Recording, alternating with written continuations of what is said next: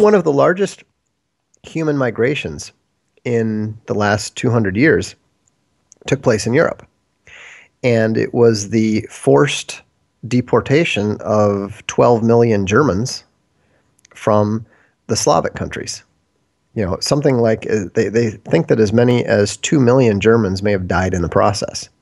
Um, you know, you never hear about that.